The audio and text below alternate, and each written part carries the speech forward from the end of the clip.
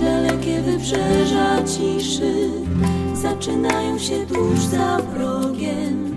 Nie przefruniesz tamtędy jak ptak. Musisz stanąć i patrzeć coraz głębiej i głębiej, aż nie zdołasz już odchylić duszy aż nie zdołasz odchylić duszy.